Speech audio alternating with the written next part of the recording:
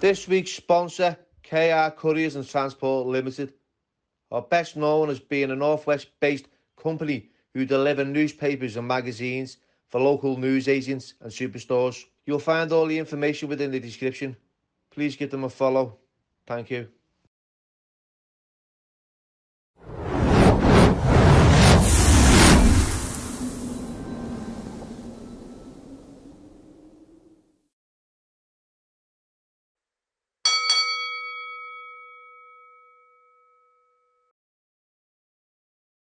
Hello, everybody, and welcome back to the Billy Moore podcast. And once again, John Burton, he's back on part two. How nice are we, see you, John? Billy, nice, you okay? Once again, thanks for coming on. Ah, no worries. How are you doing? How are you feeling? Um, good. Um, tired, but good. So tell us a little bit about what's been going on since the last podcast. Um, oh God, um, loads been going on. We're just doing more training, um, getting into more prisons. Now we had a bit of an headache with uh, COVID. Um, obviously, yeah. once COVID come, all the prisons sort of locked down. We had to just look at a different way of doing things.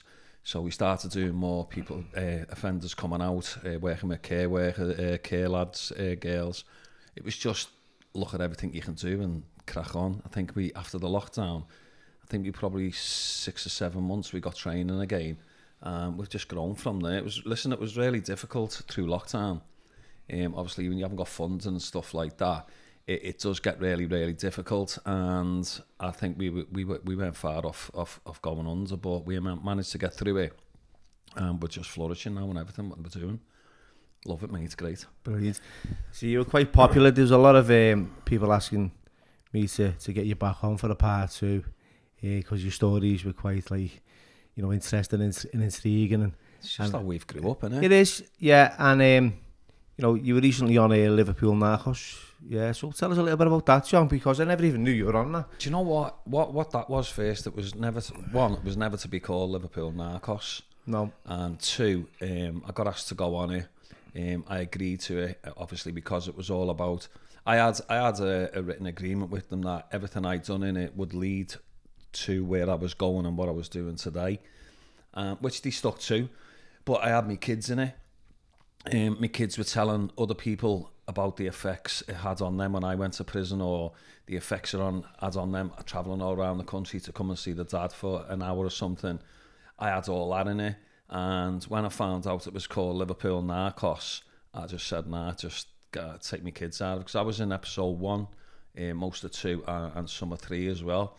And when I heard it was sort of Liverpool Narcos, it just Well, well, I didn't want my kids in that. If you get me, if it's being kept like Liverpool grafters or something like that. that the shout initially? Yeah, yeah. And then obviously three months, I think it was about three months before the it, uh, they phoned me up and just said, look, um, we've, we've spoke with the uh, producers and stuff and they want to call it Liverpool Narcos. And obviously there's already been a Liverpool Narcos on um, Channel 5 with, um, Who's in that one? that was Jason and Ian uh, Fitz. Yeah, And it was on Channel 5 a while ago. And then, you know what, I've done it because I wanted to show people that people can change if you get the right roots to change and you've got the right mentality to change because everyone's not ready for work, Billy. You know yourself. you're, you're in prison, you come out, you're used to earning money or you're used to being on the gear or you're used to being on drugs or some sort, you're used to robbing or, Yeah. you know, you've got to get your ways. And when we all grew up, we got our ways how to make money. Different people went different ways. But when you come out, especially nowadays, it's difficult out here. And to come out, you probably need six or 12 months to get your life fully in order if you've come out to nothing. I don't know. Sometimes I think, you know, the, the longer you're away, the more time you need to, to kind adjust. of to adjust Yeah. because there's people who've been away for decades, mm. literally, and there's people that have been away for a couple of years. You know, and you get out and the feeling, you know, the, the, initially you get out of prison and you're feeling really what, you know, you feel insecure about Yeah, yeah. your financial affairs. You know, you think relationships are going to fix you. You think everything outside of you is what is going to work, but if you've got no skills, you, you, you basically you're fucked, aren't it's you? hard. And look, I I done six years where I didn't really get out, and for me it was it was a culture shock when I come home. I was coming home and sitting in my bedroom and stuff like that, where you you you know yourself when you come out, you don't really want to be around loads of people. You might have a night out for coming home, but then you sort of seclude yourself away from everyone so you're getting your own head in order. And I had I had my own house and stuff what I was renting, but every time I come in of a night, I'd be working, but I'd go straight to my bedroom. Like I a shell. It was like yeah, yeah. back to your shell. I wouldn't sit in my living room or sit in the kitchen. I'd probably make a cup of tea and then just do my work on my bed and I'll be honest, Billy, it took me about four years to get out of it. Mm. You know what I mean? It, do you think? It's do you think, hard. Do you think prison cultivates like, um, like loneliness and separation from society? Do you, yeah. do you believe that, like, you know, you, they put you in a shell, you're on your own. You know, you, you're living in them conditions for quite some time. You quite, you get comfortable with your own in your own skin. Yeah, yeah. And your own space. I, I, I was like, you're behind four walls basically, aren't you? Yeah. And say from six o'clock of a night right through till quarter to eight the next day, you're, you're on your own. You're in, you're in, you're in a cell on your own. What you do? Watch telly. There's only so much telly you can watch. Read books. There's so much. Uh, but nowadays, in, in, in some prisons, they've got phones in the cells where yeah, no. it makes it, it makes it a lot better and a lot easier for people to stay in touch. But it also makes it a lot harder for some of the young lads who are all paranoid about the birds. Oh, I know it is. Yeah, definitely. You, have seen it in jail. It's like you get jail paranoid, don't you? Even when you haven't even got a bird, you're thinking, wonder what she's doing out there tonight. It's just, it, that's how it happens. And people are on the phone, screaming down the phone. So I, I think the phone's in the cell. It's just, if you want to do your birds, it's, it's just get on without it, really. you know what, right, John? I um, I had my, I remember like when I was in Walton, they just introduced them, Mm. The phones in the shells, the big like digital, the, you know, the push button ones. Yeah, yeah. And I was fucking hell, they were causing me. They used to go off every fifteen minutes. It's got a time limit on them, you know. Oh yeah, on the ones I had one in um, in Oakwood, and um, it's funny because when they first come out, you know how, how strong the prisons are about you can only have your um, 25, 50 a week to Yeah. get your canteen and stuff. All of a sudden, you got a phone put in your pad.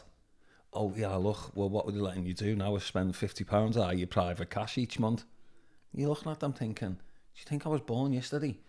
It's not for, for our benefit, so that so that they can make money out of it. It's what it is. Yeah, yeah. But because they're making money out of it, that, that it'll happen.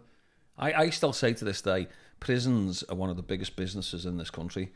Oh. One hundred percent. Definitely, especially with the phone service, because do you know there's queues waiting for the phone. Remember, like you're going back years ago now, right? The phone, the phone cards. Remember them? Yeah, yeah. See, that's as far back as I can go. The phone cards, and then it was the pins. Pins, yeah. I think it still is the pins. I still know my pin number from uh, from when I was away as well. and it just caused nothing but but um, problems. What do you think about personal mobile phones in prisons? John? Do you think they would? Do you think one day they'll have them? They'll introduce them to? Yeah. I, do. think- You know, I think it'll be. I think they'll be. I think they'll be restricted. I think they'll be restricted to what you can do and what you. I think me personally, it's not going to be. People ain't going to be able to phone in. I think they'll do it where it's just a phone out service, and they'll do it where they've got like a monthly um, Allowance. allowance, yeah. Yeah. And then I don't think you'll be able to text on them. I think you'll be able to do your prison work and stuff on them. Um, if there's any courses and stuff like that to do, I think they could put stuff like that on them. But it's going to be difficult. And it's going to be difficult to ever getting phones into, into any prisons, but there's enough of them in there anyway, isn't there? There is, like, isn't he? But I think I think it's you know it's good to stay in touch with your family, and it does it does kill a bit of an hour or so overnight, but it also costs a lot of money. I remember being on the blue pin phones, and every time your phone's a mobile offer, it'd take twenty pence straight off. Straight If off, it- fucking and that's even if Yeah. it went if it went to voicemail as well. So you know, I think it should be like a tariff system in there where you can buy so many minutes a month. You know, like you can out here where you can go and get unlimited uh, minutes out here for 20, 20 quid or something like that, can't you? Yeah. I think it should be something like that. Yeah, because you've got to understand there's, there's inmates who are away that just have got nothing. yeah. yeah. You know, they just want to phone like the partner and the kids. You know, and, and the only way of getting in touch with them is, is most of is, is a mobile. Yeah. No one's got really a house phone these days, have they? No. You know, so you're ringing them mobiles and bang, you're always going straight away, even if they don't answer. It's like when you're using mobile phones in there, they just. I, I know lads who've got extra 15 and 16 years on top of the sentences they're doing hmm. for using mobiles in there. So Really, yeah? yeah, yeah. You look at it. There's a there's a couple of lads I've I, I was away with. Conspiracies. with- Yeah, yeah. because they've been they've been using the mobile phones and stuff in in the prison, and when it's all cell sighted and names and texts get put to each other, if they find that phone, mate, then it's a charge, you know. Yeah, If you find a phone in there now, I think just a normal phone six get you up months. Yeah, yeah, yeah. six months. I remember sitting in the big boss. Oh, you li- the yeah, they had a little phone, John. Right, I don't know why I took it. I went went to court. I wasn't like it was a- Zanco. yeah, it was a Zanco. I was, I was half expecting a sentence, but I wasn't. If you know what I mean. And my mate went, "Yeah, just take that." And I just plugged it, Yeah. and it's only small, so you can stick them right up your back office anyway. You know, never, but, but I had no idea what the um, the big boss was because it never, it wasn't. It was supposed to be plastic screws and everything in them, though. weren't? Yeah. It was supposed to be beat, beat to beat the big boss. Oh, it beeped, lad. I sat down and that's yeah. it. It went, it went off. Should have said you still got a bullet I stuck in your you know what? I just jumped up. I just jumped up like someone had fucking bit me on the arse, and I went like, "Whoa, what was that?" And he went, "Oh, you haven't, have you?" I went, "Yeah, haven't what?" He went, "Sit back down." But it, the, I sat back down, John, and I got right on the edge. You know, for whatever reason, it never went off. Yeah. Went in, had no charger, had no SIM card, fuck all. To be honest, I just don't even know why he had it, but yeah, he saved the purpose in the end. Like Yeah, yeah. It's one of them things. You just if you look, it's like a cat and mouse game. Uh, prison. it is, isn't it? It's Remember the lines going yeah, through. Yeah, and it's like it's like a, a, a prison officer to find drugs on, on, on a prisoner because that's what it's all about. It's it's, it's it's about trying to smuggle what you can in and try and make your money while you're in there, but it's also about them trying to stop you. And I always find it's like Tom and Jerry. I remember one in Alcourse, Parcel Pete. He just used to go around find them. He'd just find parcels anywhere, him, you know what I mean? This, this is a screw? Yeah, yeah. yeah parcel but Pete. But they're not, they're now for it, aren't they? But look, if you want to start bringing phones and stuff in, into prisons or if you're screwed doing it, then it, it, the consequences when you get caught, yeah. uh, you know, they'll be heavy. You know, for me, I, I'm not interested in all that no more. Me, But you've had like so a lot of lived experience. So and a lot, a lot of the young guys come from prisons to your service, don't Yeah. John? So what is it that you, with your experience, that you can offer them? what I tend to do, Billy, I go I go into prisons Yeah. and I'll go in there and I'll do I'll do open days in there where I'll go and have twenty or thirty people in a room. And look, let, you'll say you you'll say the same as me. there's people who are ready for work, there's people who are nearly ready for work, and there's people who are not ready for work.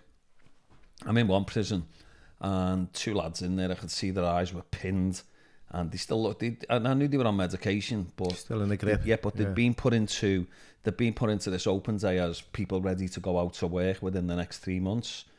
And when I sat down talking to them, I, I said to them, what have you had? He went, what, what, what do you mean? I went, look, I said, I've been to prison, mate. I said, I've sold drugs. I said, there's nothing probably you can't tell me. I can't tell you about drugs.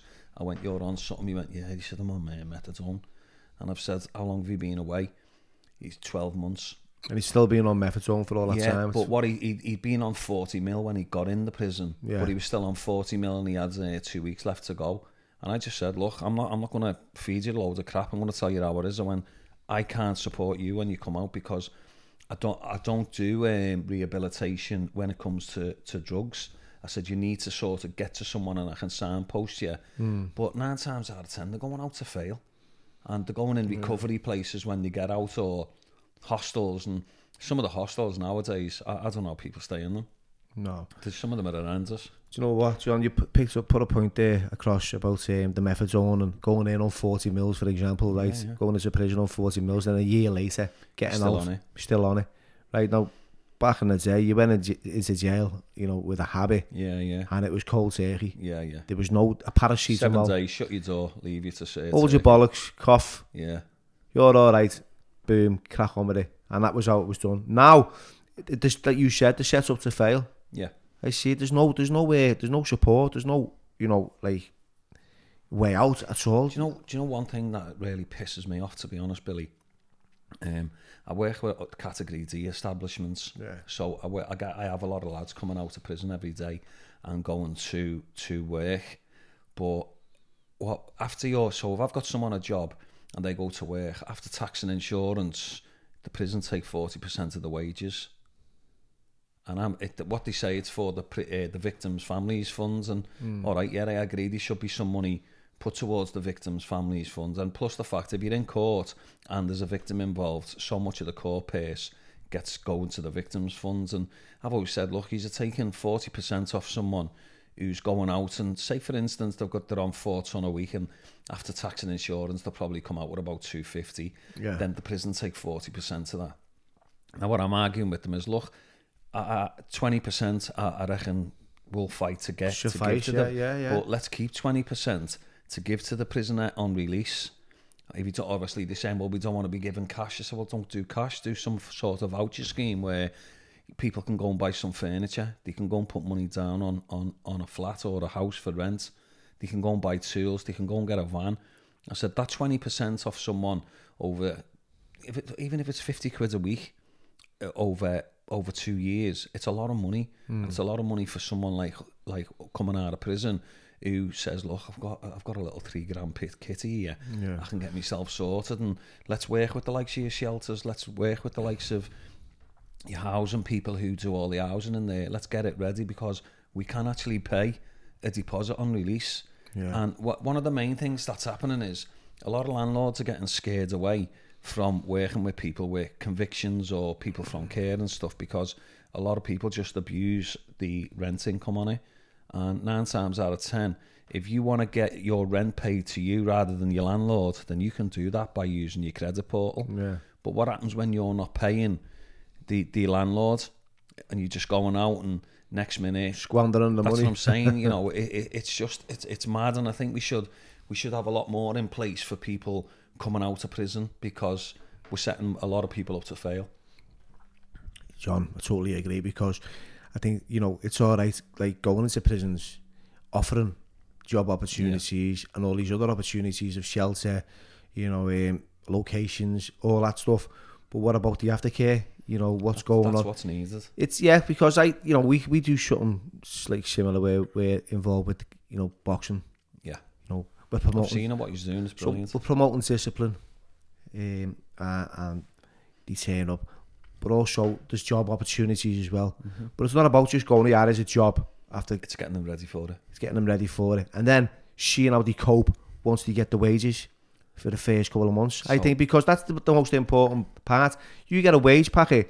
You've had a breakdown with a girlfriend. You've had an argument with your mum, right? The first thing you want to do is go and have a fucking bevy, hand in hand, to Charlie, whatever else comes, you're on that route.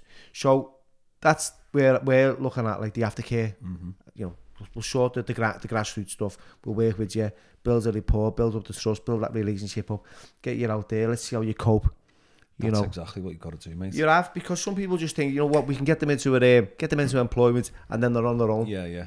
Fuck it's, that, having, it's having a mentor service uh, uh, when they're in work. Yeah. Now you know as well as I do, if you just grafted all week and you just got your first week's wages the week after the four or five ton. Yeah I'm not being funny, mate. I've just come out of jail. It's ninety nine percent certain I'm going out partying. Yeah, I have it with a few lads, and um, you know, on the Monday you get yeah. a phone call at seven. John, listen, mate, I can't go to work like this. I'll say, look, you've got two choices.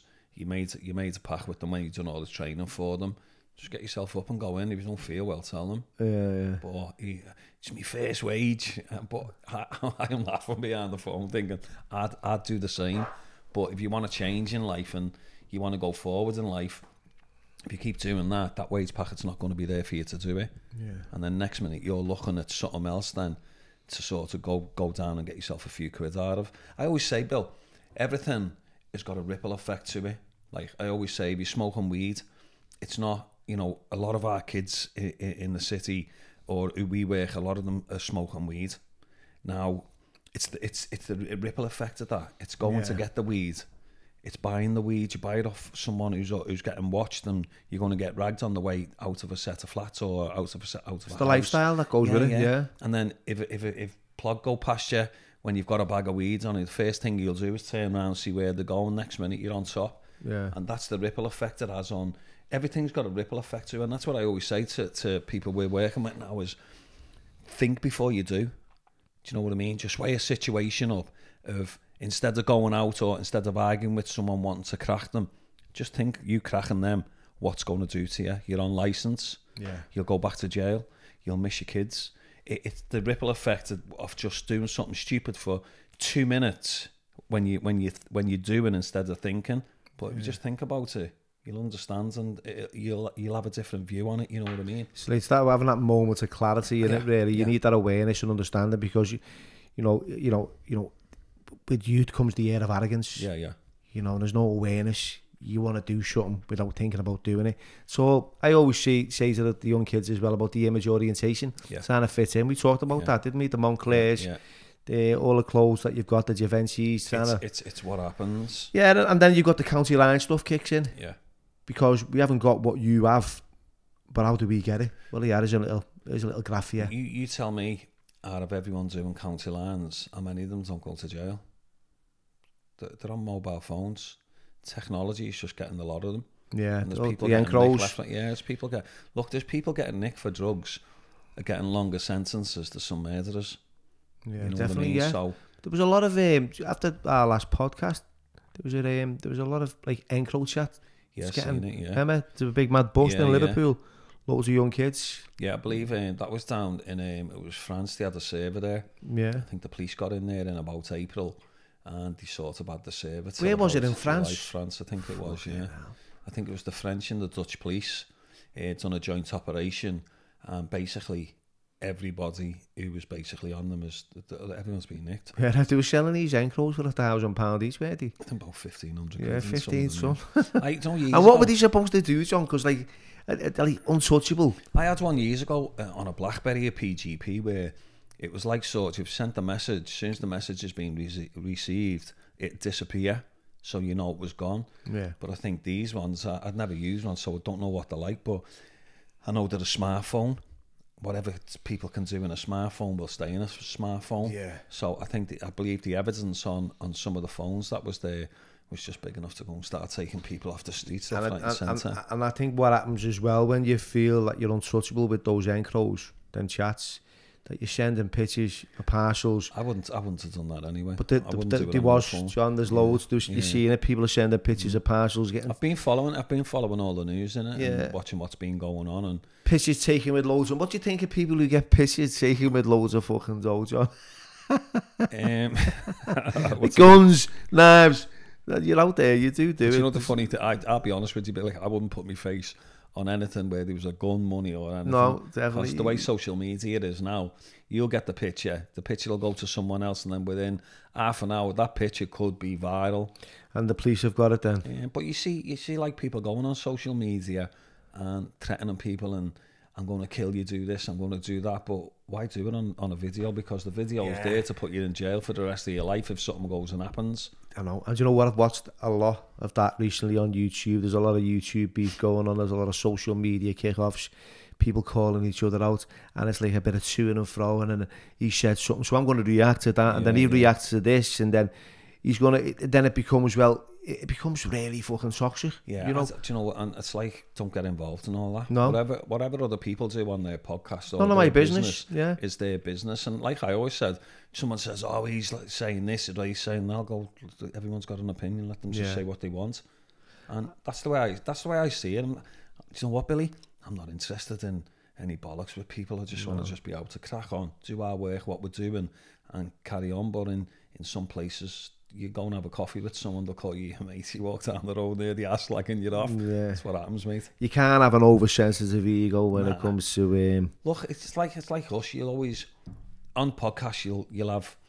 I, I know people who phone me up and gone, John. Listen, I've had 500 likes, and these two people have done this and said this, and I went, don't bite to it. Yeah. I said, because you've got 500 people who like you and two two people that don't like you, but you're actually... Focusing on the negative. Yeah, you're focusing, yeah. Just, uh, just focus on the positive stuff and just leave them to it because yeah. they're it's, only keyboard warriors or people who just want to give you a bit of shit. I think it's easy though, isn't it, really? Because you want to be liked, you know, as an individual. You, know? you know, listen, look at the echo, read yeah. the echo, and then read some of them comments. You know, like, if there's a normal story on about something, then you'll see like a, a flame where it's fire. I read some of the comments, and some of the comments, I don't know why the echo would allow half of them comments to go on there because it's just it's, it's there's it's times though right I tell you what the comments the, the, the only time the echo turns off the comments is when it's like a fucking it's like it's a pedophile or it's a rapist or something and the comments are fucking switched off yeah yeah because But you know they're going. But then it's someone on there, everyone's getting leathers on it. There's a, there's a few good people on there, but Scousers have got humour. Yeah. And the first thing they do is get on and have a little Switch is the I- best in it yeah, for it when you I see. don't really, I don't really use social media anymore. Yeah. I just, it's to be honest with you, I haven't got the time, and I, I'm dyslexic. I'm not that bad. I can get on with it, but I can't be reading tweets and messages and Instagrams and TikToks. There's not, there's not stuff. enough There's- thousand nah, nah. No, there's not And enough. y- you know, in, in this game, what, what we're doing, you need a team to be to be sort of doing Yeah, it, and you've got to have people who are bang on the money. But you keep seeing things all the time, and you go, oh, do you know what's boring me that? You've just got to make things different all the time, and I, I hate, I hate it. LinkedIn, it's- I hate it. I, I, it's not that I hate it. I Yeah. just hate going on there because I haven't got 20 minutes to sit down there and just crack No, on. you there. get caught up in, all Yeah, in, in- yeah. in the questions and the answers and you know the ifs and the buts of seeing it. You know, I, I, I I'm sitting at home thinking, you know, I want to. Sp- as soon as I'm, my family are there, I'm I'm with them. yeah, yeah, yeah. You know, I want to be in their presence. You know, try not to to spend any time on my phone as much as I used to. It's getting less and Yeah, less yeah. now that I've got my own. It's like me, I'm on the road a lot. But if you're on the road driving four hours there, four hours back, that's an eight hour journey. You get out, you do your meetings or whatever you've got to do, you're driving back. I don't get time to get my emails for two days, some days. yeah. It's just it's just how, how life fits. And now this with is this this podcast has been fucking coming for how many months now? It's just you know what, Billy, now know. I think we're working all over the country in, in different areas where um, different people. Every there's look, people in, in, in our country in our country are always going to go to prison and they're always going to come out no matter what area you live. And being in sort of the northwest Lancashire, uh, West Midlands, and London, we're, we're working with a lot of people and we're working with a lot of like BAME and um, diversity stuff as well. Where down down south, I'd say ninety, I'd say ninety five percent. I'm Birmingham, uh, are from a BAME community, and you know what? It's brilliant sitting there. And I was I done a gas course with um, a company not long ago. Uh, started a twelve week course, and the first day I've gone in there, you can see them all. You know when you walk into a room and there's there's just like a smell, Billy, Yeah. where it's like prison. Where if people have been sweating or whatever, there's a smell when you It's walk in. innit? it? and I've walked in there and there's 12 of them there and I don't, I don't think there's anyone, uh, there's no one on it white at all. They're all from a BAME community. And do you know what? You know, walking in that, I, I go there every few weeks. Um, they go out on site, they come back. But I, I was in there the other week and just watching how they've all changed. All had haircuts, all looking smart, the room smelling fresh, but they're all passing different international foods to each other. So they've become like a little family. And to see that, mate, that's that's what you want. I had one lad who's just fresh out, fresh out. He's only been out a week, Yeah. and he was like, "Bruv, do you think I'm I'll be able to get on here or what, mate?" and I said, "Just get get yourself on." I said, "and just see how you are." Now, it, it's not easy work. It's working on the gas and it's uh, external, you know, digging the grounds and stuff. But the, I think up to now, there's ten out of twelve of them who've got full time work at the end of the course with the companies they've been out with. A couple of Muslim lads have been on it, and unfortunately for the for the Muslim community, the, you've got to wear face masks, Yeah. and the face masks are to stop you from getting gas in. So if you're not clean shaven, you you can't get on the court on onto the um, job. So we have to try and find them into reinstatements and. As I was having a laugh with um, Abs, one of the lads, and uh, he went, John, look, he said, I've had my beard since I was 13. and I went, and he said, no, I can't, I've been thinking about it. I can't shave it off. I went, why not? He went, because I'll only look 18. but he's sad. I have a laugh with them all. But I, I, I like working with different uh, nationalities and different people because you just learn so much. Up here in Liverpool, we've been locked away from culture really. Like London have got it and Birmingham have got it. But I think there was an. Ex- I think when once the, the European, eh, what's the name, the gates opened, it was just there was an explosion, wasn't it? Yeah, different yeah. cultures. Because growing up for me, I think there was only one mixed race kid in our streets. That was it. I was the mixed race kid in our street. but there was never any. Yeah. There, there was never any um, uh, different cultures or nothing. You know. And then uh, suddenly there's the Polish. There was Yeah. a lot of Polish, and then there was a lot of everything. Eastern Europeans Eastern coming over, and Europeans, do you know what? I had, a, I had a good load of Polish lads working for me, and I remember one one guy. I, I, Did you bring that diversity, yeah, don't you, John? Yeah. Like Derek, one one of, one of my mates I had working on a, he was Polish when I met him, and there was about eight of them all working at a building company, and um, they couldn't speak a word of English. Only the old fella could speak a word of, words of English. I goes on site one day, and there was only about eight of them sitting down eating all food. He had, all right, lad, And you know when you go, I thought, nah, that can't be right down here. Sound, lad. And then I've turned round and all the Polish lads are giggling. I said, who's saying that? He went, it's me, lad. But it just funny, you know, just watching it. And he, he his, um, his, his um, wife and kids all lived in Poland. And his wife was sick. I had him here. He was working hard. He was paying tax. And I said, look, why don't you just go and get your wife and your kids and bring them over and get her the treatment here? Because you're paying tax. You're doing everything right. And he did. And his wife, he's here now with his wife and two kids. They've, the two kids have got really, really good jobs. He's still working in the building, doing really well for one of the lads. And his wife's healed. She's she's sick free. You know what I mean. So, Brilliant. and they're living in a five bedroom house on the front in Crosby. So fair play to him. He's worked hard for it. Yeah. But that's how I liked it. Used to be helping people.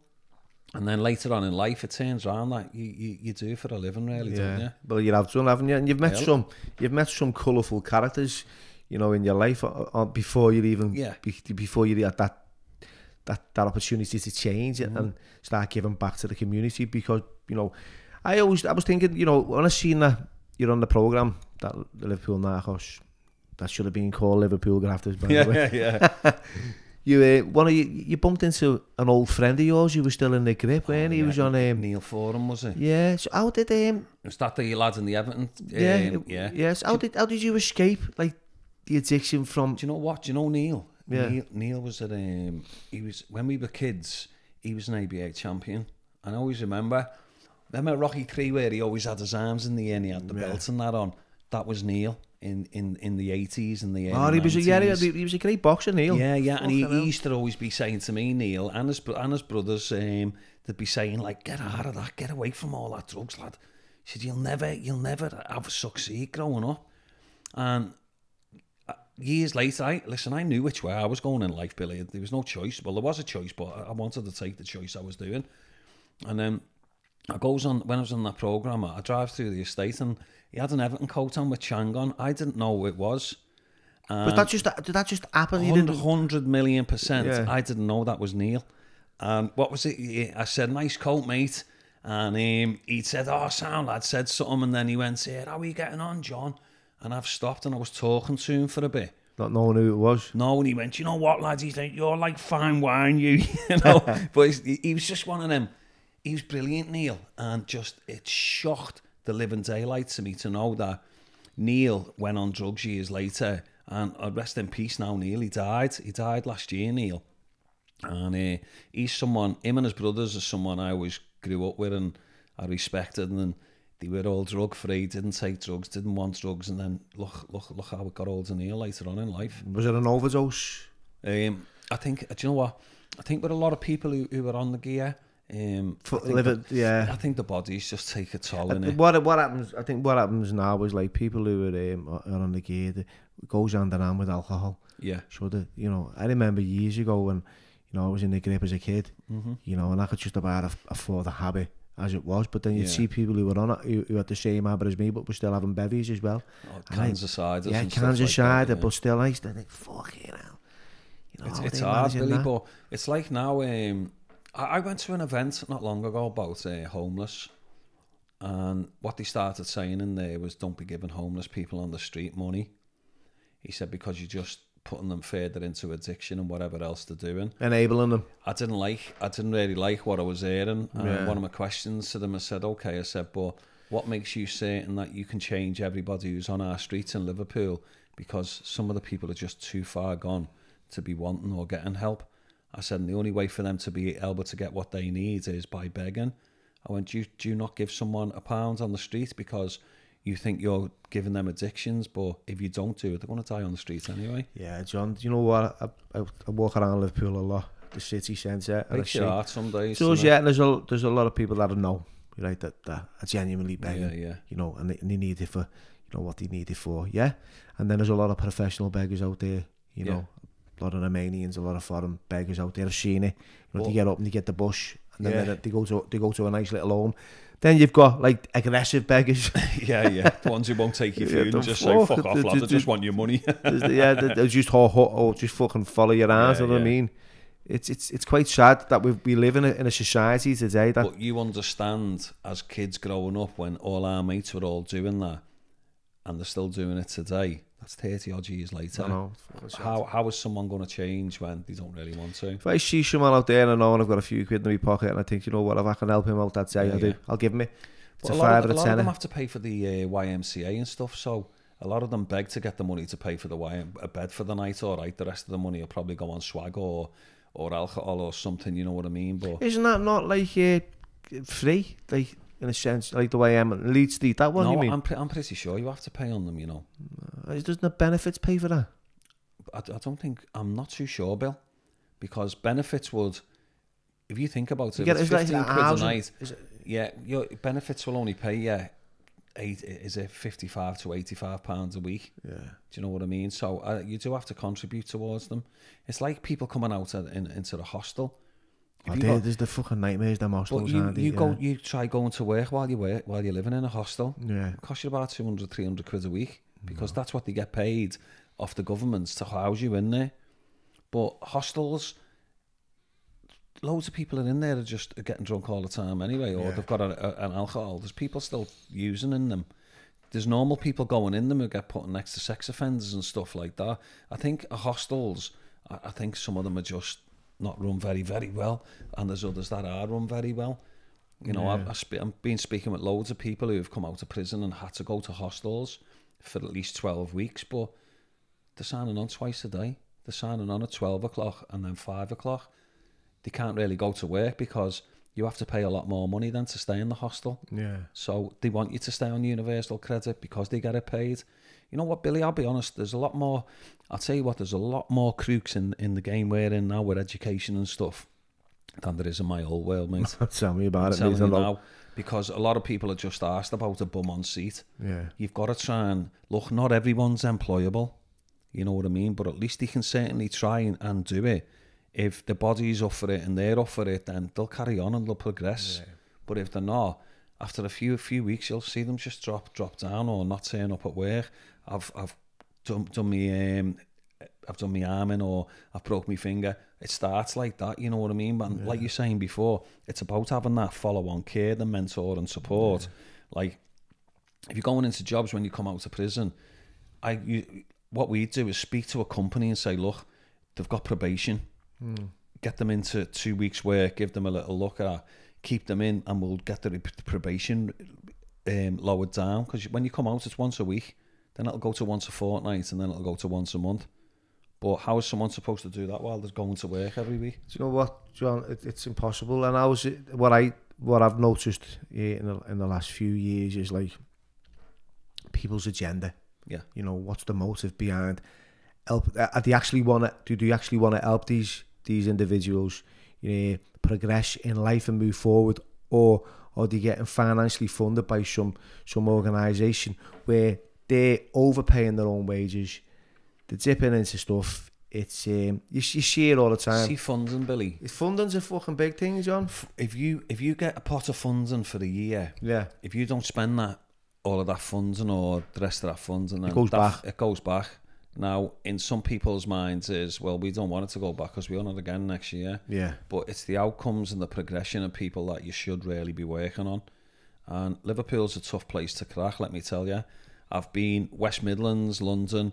Uh, there's different parts of the country where you'll people will jump on you. But let's look at it this way, Billy. To a lot of people out there, don't give a shit who they are. I'm still a drug dealer Yeah. because I used to be a drug dealer, and that's the stigma we're always going to have. Like someone coming out for fraud who's been involved in a fraud case, they're going to come out and set a social enterprise up, but then who's going to give you the money? Because it's always going to be looking at you. I'm a drug dealer. I'm a fraudster. I'm a robber. Why should anyone give it to you? The- You know, I, I, and look, I'm five years out now, and to be honest, I've proved a lot of people wrong. But I'm in it to get people a better life, not in it to prove people right or wrong. I'll always prove people right or wrong. You will, everyone will. But it's these people who are just taking the piss and blatantly putting bums on seats Yeah. and just not having progression for people. That's what gets on my nerves. If, you, if you're offering jobs, offer jobs. If you're offering some sort of um, certification to get into other jobs, then then so be it. Look, Billy, there's loads of people we get in, and I'll tell you now, when we put them in jobs, they're not ready for it, mate. But they've got the training. When they're ready, try you know try and get into something. It, it, it, our stuff what we're doing now, it's I'm doing it because they're getting good wages and they're learning a trade and it's a trade that they're going to be able to flourish in over the next 10, 20 years. Yeah. It's it's civil engineering, construction, fibre and data, stuff like that. HGVs, warehouse work. It's growing and growing and growing. There's masses of jobs out there all, all the time. Here's a question, John. Right, you've been out five years, right? You have you've like you've excelled in every area of your life. You've you've done everything to the best of your ability Mm-hmm. to um, to get job outcomes, create job opportunities, uh, learning a lot. Yeah, Yeah. right. So that's that's a five year period, right? So five years ago, did, you ever see yourself in this sitting down in this position, going like, "This is what I've done," No. right? And two years of that as COVID have basically locked and shut down. You're not Imagine if five years in a bedroom, are you? Just thinking imagine, about it. Imagine having a full five years run on that where you'd Yeah. be now. Be flying. Whereas like the first couple of years we were just ready to start flying on it and then COVID come and then it was like starting again but with all your contacts. Do you know what I mean? And I'll be honest, I get companies phoning me left, right and centre wanting to work with me, wanting to try and get in, wanting, but they're not ready for it. No. Because I work with companies now who have got me back and it's like social media, putting stuff up who you're working with. Billy, the amount of people who just go behind your back, mate, and try and swim in. But you've got that much you've got Yeah. that much of a um, of a rapport with the companies. The companies f- Yeah. phone you and say, Do you know blah blah? I go, Yeah, yeah. Say they've just been in touch, they're trying to do this. I went and what did you say? She went, No, if you want to do it, go through inside connections or they're the people you stick with. Yeah, yeah. Because People with integrity. yeah, yeah, because they'll, some some when uh, some some people are not ready for for working with with with people with convictions, and when they first get into it, it it sort of it scares them a little bit, and that's why getting a three month report with them and stuff like that Yeah. is just the best thing. And you see it now. We've got we've got got loads of, of employers and companies we work with nationally, and they're brilliant because they've got your back as well, and they love what you do. Yeah. But well, it boils down to. when, I, when you mentioned that about say you know uh, changing and redemption and you know not having that label Mm. of as a drug dealer um, or a villain, you know that's the label you're attached with when you get out of a prison. Mm. You know in a society, that's what you know yourself as. You wear them labels yourself. Mm-hmm. You don't need other people to tell you what you, you you've done wrong because you know what you've done wrong, unless you continue to go down that path and, and still commit crime to fund whatever, or fi- whether it's financial gain or Yeah. whether it's you're funding a habit, then yeah, you, you know, you're fucking bang on. But when you've changed and, and you've proved people wrong, which I believe I have myself, Yeah, you know, 100%, I'm here, you know, I'm shitting down. I feel like I'm doing something, you know, positive in the community. Don't take any money off anyone. I get involved. Um, I like to, I like to build relationships up with young lads and, and girls who, yeah. who who are struggling. And then he can identify with me yeah, go, Bill, yeah. what was it like for you? How did you get through this? And the reality is, all you got to do is keep breathing, keep moving forward. You know, don't pick up that first drug because that'll lead on to this. Yeah, yeah, We talk about gateway drugs. You know, a gateway drug to me is, is alcohol, cannabis. yeah. You know, it leads on to to, the, to, to severe consequences with it's class A's, and then I'm down. I'm down, mate. My partner, who would now, she's never once seen me with a drug. Yeah, she's yeah. never drank nothing. And she's, oh, I couldn't even imagine you. You know, That's that's the thing, it? you know what? She, she doesn't fucking know what I'm like. If I if I if I have something, if I put something in, I just I don't know what happens to me. It Yeah, becomes yeah. something else. It's not that I become someone else. person, addictive, Yeah. um, way you're getting onto Yeah, stuff. but I just become something else. So it's like, whoa. And I've had that many um, like experiences that I, I'm quite aware of where that takes me. And this is something that like, you know, yourself and, and, and myself could, could do with kids out there or, or young lads, young girls, whoever. Um, and show and share that, Yeah. That experience. That's what it's all about. It is. Look, listen, kids who are going down our route or are on the way down our route would yeah. rather sit here and listen to me and you and other people who have done the same than sit there with a teacher and try and get them. Don't get me wrong, some teachers are brilliant. Yeah. What about celebrities then? Yeah. I think celebrities have a big um, influence. A big, yeah, a big influence, especially especially if they come from a background like uh, like us and the kids. Sport and backgrounds, yeah, yeah, and yeah. they've had, all, all sport and backgrounds. You, you like Sir Tony, Molly, yeah. everyone who you're Paddy, working yeah. with, and Paddy, yeah, who, who are all supporting you. To, to our kids on our streets, they're all icons, you know, because oh, they're all involved in fighting. Scallies, yeah, yeah, but they're involved in fighting, and you know, in this city, it's a fighting and football. It's a fighting and football city. Do you know what I mean? It's not. There's not rugby or stuff like that. It's always been fighting of football, and I think listening to people who who like yourself and, and Tony and, and the rest of the team, I think it's ideal. I think it's brilliant. So what are, you know when you share some stuff with you know obviously you've had to sit down with a few of the lads in the classrooms and that and you've shared a little bit of your experience, John. Mm-hmm. Where do you begin? Where did you be, Where did you begin with that? You know, because you've you've had a few hairy moments in life, haven't you? You've had a, you know, you've had money that's like you, you've had that much that you couldn't even fucking think of Yeah, yeah. where to put it. You just be open and honest with them. But do you, know, do you want me to be honest with you now? You know, going into into like places now, if Yeah. I'm going into do open days, especially out of town and stuff, I, they just think I'm a normal tutor, a normal teacher. It's when I start to open my mouth. I can't sit in a classroom, Billy, because I start getting agitated and that. But I, I take the piss out of everyone in there and I have a proper scream with them. Yeah. And everywhere I go, they all start having a little laugh and buzzing because I, I say, look, I might have changed the way I am in life. I said, but as a person, I haven't changed and I won't change. I said, I'll sit here all day, I'll take bollocks off you and I'll give you it back. And that's the way I do it. And when they find out, say, look, I've been to prison, blah, blah, blah, they go, what? You've, you've done jail? And like you've just been nicked Yeah, like yeah. parking fines Yeah, because they just think you're a normal sort of person. Yeah. And then when I tell them what some of the things I've done, they're like, "What?" I go, "Yeah, I grew up in a different world." And then I show them a picture of what I used to be like, and they're like, "It just looks like two different people now," you know. So I, I enjoy it. I have a buzz with them. And then they tell me about uh, bad drugs, and I'll I'll go into a story then and say, "Look, when I done this this time," they go, and they're looking at you as if to say, "Fucking hell, is this guy for real?" But yeah, I've done it. Because you've mixed, you've had a few uh, mix up with um, you know, like the, the Middle East as well, haven't you, John? I remember Rob. Yeah, Big shout yeah. out to Rob Butler. Yeah, he was saying, Rob.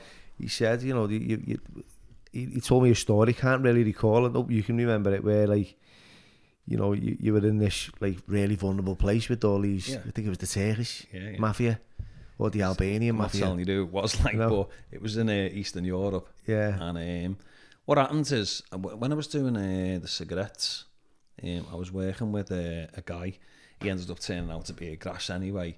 But working with him, um, he'd set me up. He'd set me up to um, Manchester Airport to pick a couple of people up. And I ended up picking them people up. And it started where that was the very first time my face was ever seen. And it was at Manchester Airport. But the two people, I took them to the hotel, uh, looked after them. He didn't turn up for two days. So I knew there was something fishy. And I knew he was he was robbing he was robbing stock off every wagon that was coming in, and I was saying to him, you, you, you can't be doing that. I said, that one day is going to come on top for you. And I didn't know the people who had met anyway. And then a few weeks later, I got a phone call, and they- wanted me to go over and see them. Now, I was talk, I talked to Robbie about it, and I said to Robbie, "Look, there's there's two ways that's that's going to happen." I said, "I'll get ironed out over there, or it'll be an opportunity that we can't really turn down. It'll probably sort of put us on a on a good path to earning some good money." And he was going, "Nah, Bertie, you shouldn't do it." and I had to sleep on it and I phoned him back the next day. I went, "You know what? I'm coming," and I ended up going on my own. Um, I got picked up in. Um, Was you shitting yourself, John? there was part of me, look, Billy, if if you've grew up like us, there's part of you that you're not really asked. There's part of you that ass. yeah, yeah, and, and you're thinking, look, if I if I don't make this decision, you make decisions on on your head. I, I thought about the situation. I thought about my time when I spent with two of them. And. I thought, you know what, I think I feel confident enough to go. And I, and I went and um, I get off get off in the airport. And when it comes out, there was a code name I was to see this fella with. And I've gone over seeing him. He took me out, put me in the back of a Merc limo. And um, we're driving through a city. And when you pull up by the lights in these cities, a lot of kids start jumping on the car, starting to you know to wash the window screens and stuff. This fella didn't say a word for about twenty five minutes, all the way from the airport to where we're going. And he's just wound his window down and whacked one of the kids, and I've gone, whoa! And he's turned around and gone, shit! I've gone, oh, this is it, I'm dead.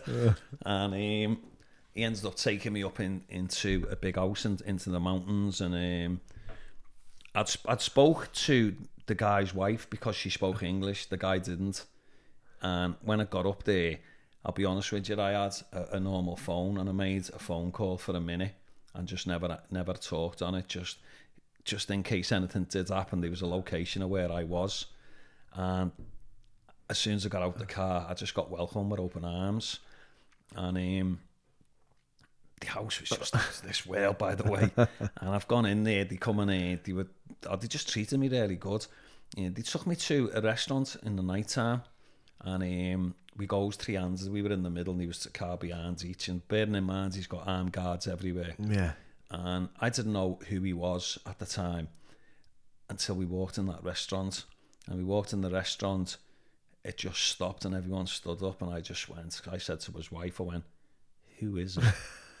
and don't bear in mind, I'd only met them sort of twice. Yeah. Before we'd gone to the restaurant and she said, I'll tell you later. And um, they ended up just being just silly, naughty people, but they were brilliant. They treated me with respect, and they looked after me. And I remember one time there was um, half eight the next morning. I get rushed out of bed, gets put in the back of a uh, X5, and gets flown into the city. And they put me in a big hotel there. Everything was paid for. And the manager come over. He went, "Look, um, I know your name, John, uh, blah, blah, blah, anything you need, you're in the presidential suite. He said, you can have anything you want, so I'll pay for. I went, all right, sounds. Three days I was there without any contact or anything. So what you, what you do, what you think, you just, your head's going a million miles The an hour. paranoia is kicking in. Yeah, yeah, and you're ordering all kinds of foods and The last meal and yeah, everything. yeah, but you're going out and you're going out to places where you've you, you, you don't know where you are there because out, outside the motels and stuff on the streets are just nuts Yeah. and um, stayed there for three days. And then they come back for me, um, sat down with them, um, done a, done a big deal with them, and uh, they went, they gave me ten, uh, five grand, um, took me in the um, Cartier shop and bought me and my missus a brand new Cartier each, and went, that's for you, and give that to your missus.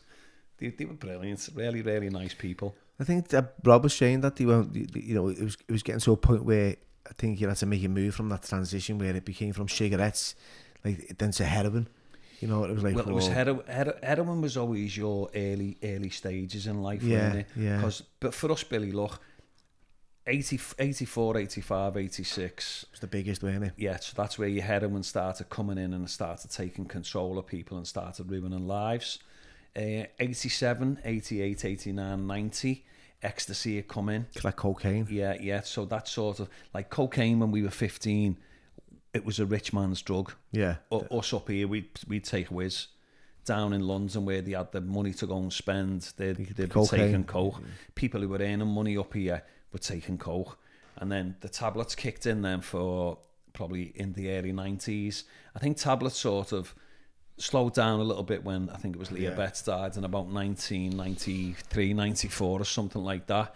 And that was with uh, Tony Tucker and that, you know, when, um, Pat Tate. yeah, yeah, that was with the down the, with the lads from Essex. And Yeah, I've got a, I've got a, a live event with uh, Carlton Leach coming up. I So believe. I'm going to go. I'm going to yeah, that, that'll, be um, yeah. that'll be uh, interesting, John. So he's he's Carlton's really good mates with a lot of my mates. Yeah. who, who, a lot of my old mates from London. Have to get all- yourself down, Yeah, John. they were all all old school.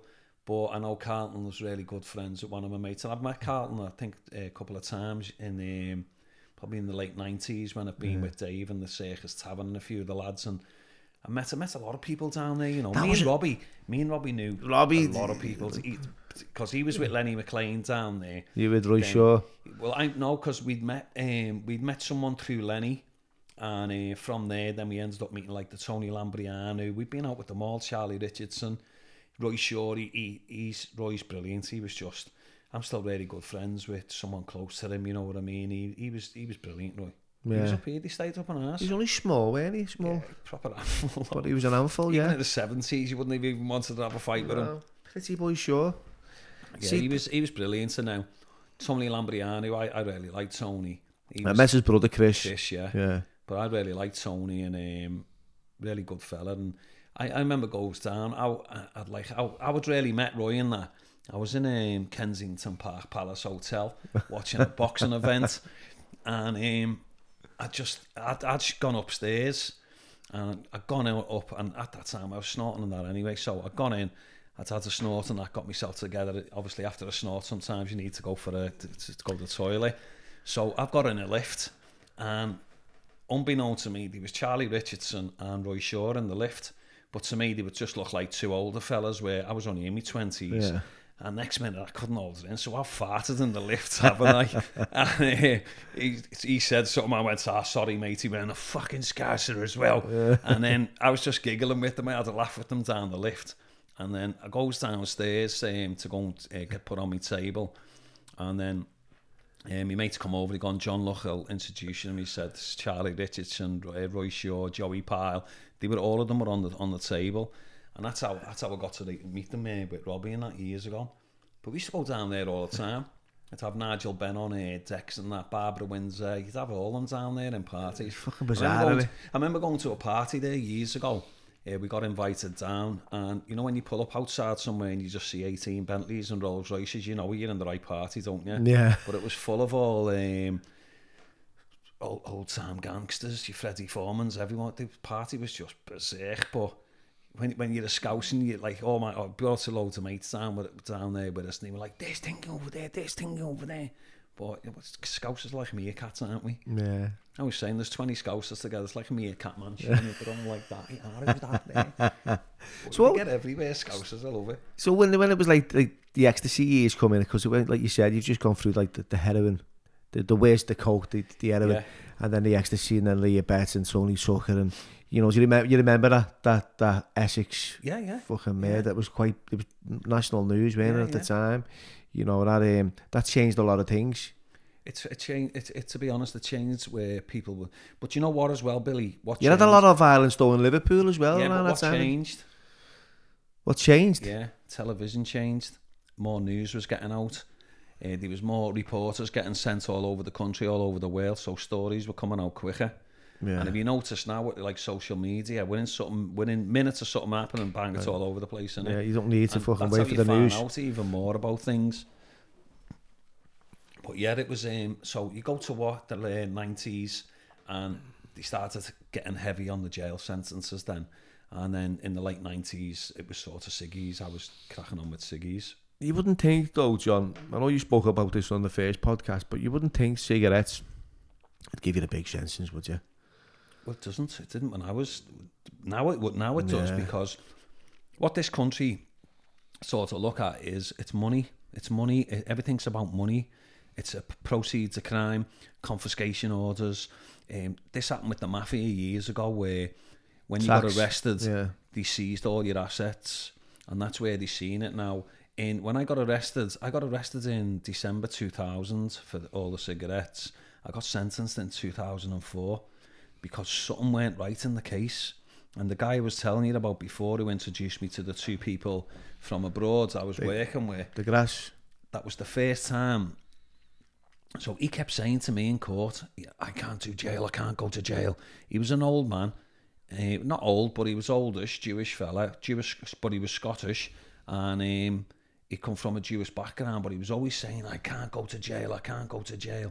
Now, the evidence surrounding him and the, one of the Asian people that were with us in, in the courtroom was astronomical. And me and Robbie were talking. I said, you know what? I'm going to put a uh, PII on him.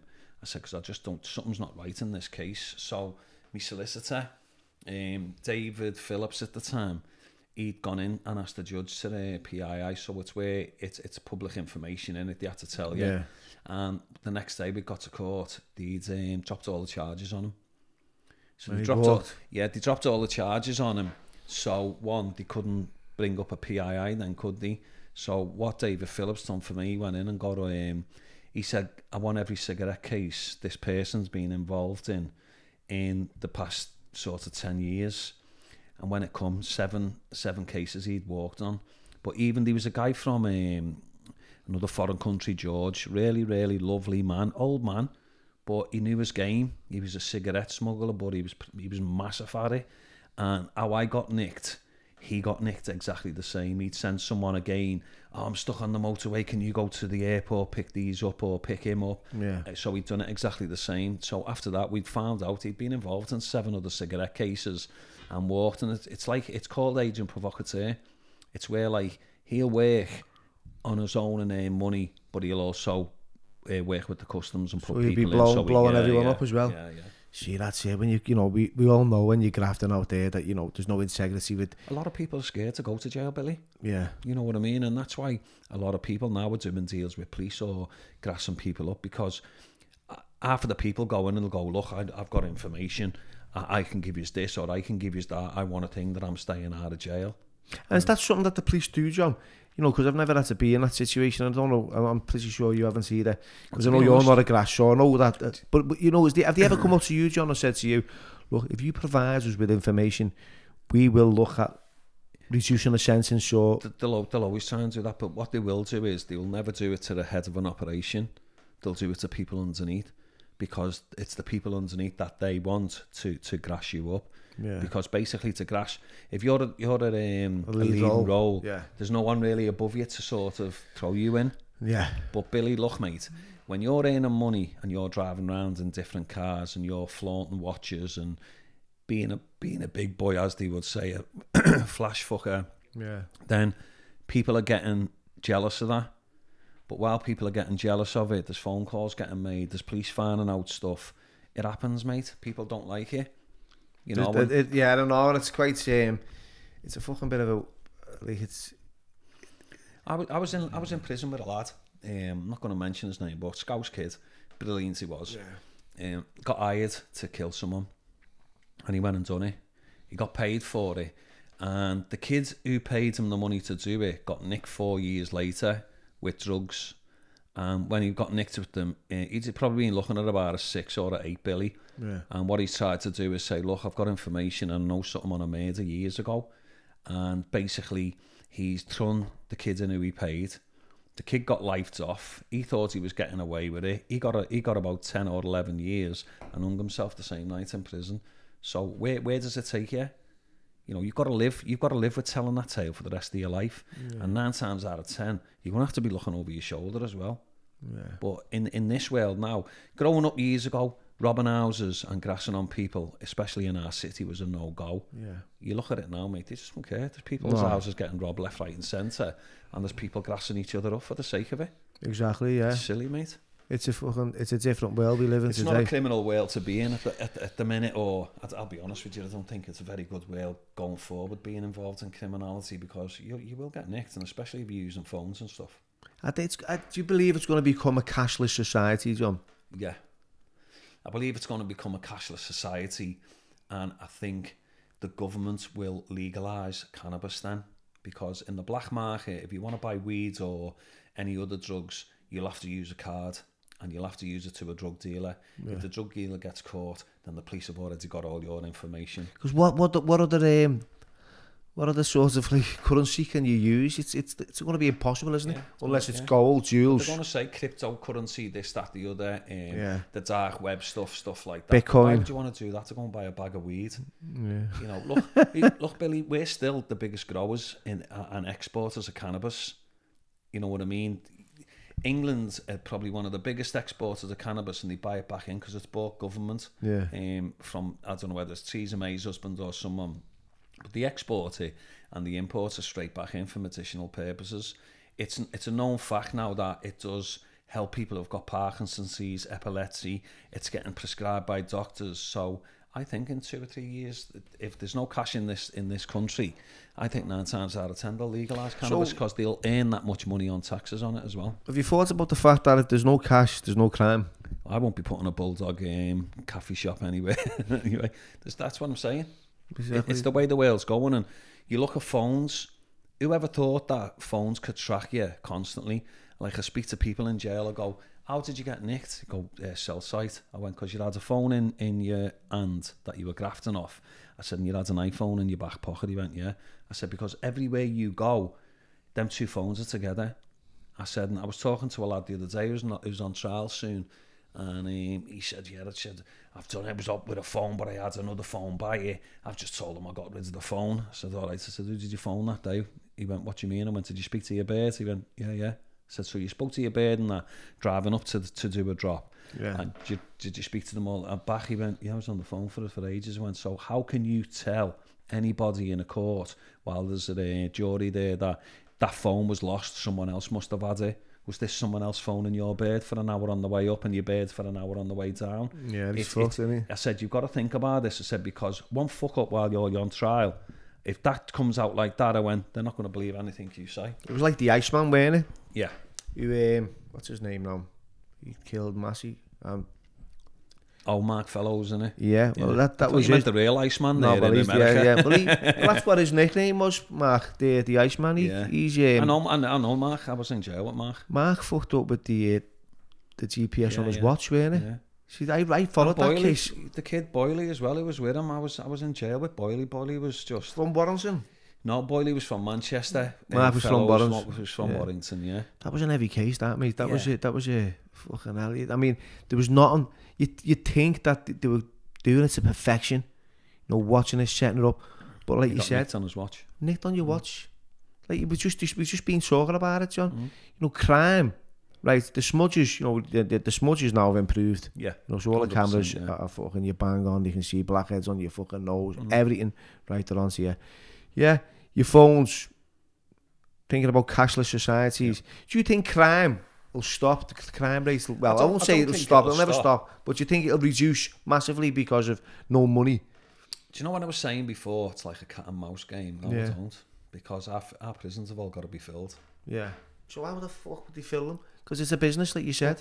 Look, look, I know people in Then I- again, there's going to be like. I met, a, I met a lads in jail, right? Just two normal fellas, just, you wouldn't have even put them in jail. They were in jail because they bought a product in America that said on the label in America that if you paint it on roofs, it keeps the heat in. yeah. And someone took them to court over it. They both got 80, eight years each, and they both got a million pound fine. so where's the justice in that? I know travellers who are getting nicked because they haven't put enough tarmac on a drive. Again, they're getting POCAs because everything's down to money. If you look when proceeds of crime comes in, they'll look into stuff that once you've been nicked doing something, whatever's in that bank or whatever's around that bank, they're going for. And they're quite clever on how they do because if they sign you off as a pound, you'll always have a benefit figure. But that benefit figure then can come into action any time in your life. So if they say, well, we'll sign you off now as a pound, but we're getting you a half a million pound benefit figure. Yeah. So what that means If you ever had that money, if you ever come into that money or you've got assets in your name or you've got anything in your name that's worth a valuable amount of money, we can actually come back and take that legally. You know what I mean? Yeah. So once once you're once you're in the criminal world and you've got a pocket or you've got some sort of um, proceeds of crime on it, um, benefit figures, stuff like that. Nine times out of ten, your your life's you're not gonna, you're not going to be able to do anything really for the rest of your life because if you buy an house, you you think you want to leave it to your kids. Actually, you can't because you know the you know the government the money. yes, you're fucked. you're eh? fucked, yeah. That's what I said. And there's a lot out there that know that these pockets are on them and they're fucked. Yeah, uh, but you know what? There's people are different, Billy. And you know, growing up, you know, it's hard out there for some people, and the way you've got to look at it is, what did you do as a kid to get yourself a night out, to go out and buy some clothes, especially when you weren't working or Yeah. you, you, your parents uh, living apart. Or I always, I always say, when you get an individual, try and go back some parts of his life where you'll know they've changed. Do you know what I mean? And look at the backgrounds of the parents, look at the backgrounds of something happening in school, or look at the backgrounds if they lost someone close to them, because that's where it all sort of starts. Yeah, that's the you contributing I mean? factor, yeah, isn't it? Yeah. There's always there's always something in the background that's contributed to the current situation. Yeah. I've, I, you know, I didn't just wake up one day and think I'm going to be a fucking raging junkie Yeah, yeah, and fucking commit loads of crime to fund a habit that I didn't really want. yeah. Uh, I was. Uh, that's uh, my, my dreams were I wanted to be be a fucking great boxer and join the army Yeah, stuff like that yeah. things that I wanted to do but obviously it didn't because this came into play and then I looked at why it came into play and this is like years later so like you said John it's like when we go back to like um, you know what happened for me it was like there was there was a lot of shit with me dad at home. He was drinking yeah. a lot of alcohol. He was beating me mum up. He was smacking me about a lot. I didn't feel there was any love or empathy or compassion or understanding or anything. Yeah. Going to school, really insecure and feeling vulnerable and not being able to interact with everyone else in the classroom because of what was going on and, and at home. So then I was getting bullied and, and humiliated and embarrassed by other kids because I never had the same clothes as them and I was quite poor. You know, there was a lot of us, there were six and I was um, I was the oldest and we never had all this. You know, so I had all that going through all school and then feeling like really less of myself. Didn't think I could get a fucking job and you know I had no skills and confidence. It, it, that alone was before I'd even committed a crime. Yeah, yeah. Can you imagine that, John? Yeah. So if that's all that going on, pressure on your head, yeah, there's a lot that all that's going on before I've even went out and, and I committed a crime. The first one was for clothes. Like you said it right. I wanted. I met a girl had these fucking shit pair of jeans and a fucking jumper, and I thought. I can't, go on a date. Like that, yeah. Can't go on a date with her like that. End up robbing fucking like a car stereo and wheel frames mm. and shelling them. A blow fan, yeah, the blowies and from the from the uh, the F Edge fucking yeah, Fiesta. Oh, yeah. yeah, and I'm shelling them, yeah, getting a little bit of grip and putting that on and. And then she, she was like, oh, they look nice. And then, mm. okay, sure, need some more. And, and then what happens then? The part's fucking gone down, and it? You know, you're, you, trying, you're trying to, to impress press of birds and yeah, stuff like that. But that's, that's where it was with me. effect. You don't know what's happening along the way while you're doing it. No, I'm sure. But yeah, you spoke about that. That's what's happened. It's gone from that to that. Now I've got to a place. I'm, I'm 50 next year. Yeah. Fucking hell, I can't even believe I've reached that age. I'm 52 so, this year, me. Fucking hell, John, I can't believe. And, and I believe now that like I've got to a stage in my life that I've had to go through everything. all those experiences, walk through the mud, the nails, the pain, the fear, the feelings, right, to get to this point in my life where I go, you know what, I'm okay with myself you know, I forgive my dad. I forgive, yeah. you know, everything that happened as a young kid to me. You know, and I believe that I took respons I take responsibility and I'm accountable for my behaviour. Mm. You know, I was driven by a, an, an addiction to, to, to create fucking, like, I was, I, I, I was suicidal yeah. every day. That's... You've got to remember as well how like our dads who grew up in the 60s and the 70s, you've got to remember how they got treated when exactly, they were kids yeah. by their mum and dad. And he never spoke to me about that. Yeah, it was a different world yeah. because people, you know, at them times, you get a smack off your dad, you can't do that now. No. You know what I mean? You fucking iron. But the thing is, you you look at stuff that's happened over the years, like telly, fucking hell, Jim will fix it. I wrote him a letter years ago. I'm fucking glad he didn't fucking come for me. But that's the effect. That's what it used to be like them, them years, because you could get away with it, or you thought you could get away with it. Yeah. And then years on, you see it now. It's just, it's all blowing up in it. yeah, like watching that, I was seeing that recently. That Jimmy Savile, and I'm thinking, But not being funny, Billy. Just looking at him now when you're older, you think, fucking hell, you wouldn't let your kids near him anyway, would no, you? but fucking hell, he was a proper weird, fucking narcissistic, egotistical. Just that the way he was, weren't he? the but big guy, now, a but kid- everyone loved him. But as a kid, we used to run home at Yeah. sort of six o'clock on a Fucking Saturday to fix watch it. Jimmy will fix it, didn't we? Yeah, he fucking didn't fix fuck all for me, and I'm glad he never, to be fair. But But that's they always it. had the little slogan. He's not. Uh, what was he saying? I was about next. And you had Ralph Armstrong and Dix going. Can you tell what it is?